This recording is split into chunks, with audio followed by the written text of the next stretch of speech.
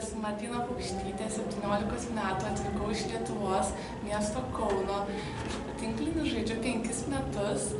E, mano pozicija yra krašto polė ir šiek tiek kelėje. E, ši stovykla man labai patiko, e, treneriai labai profesionalūs, e, padeda ištaisyti klaidas ir patobulinti. Ir ačiū šitą įgytą patirtį, iki susitikimo.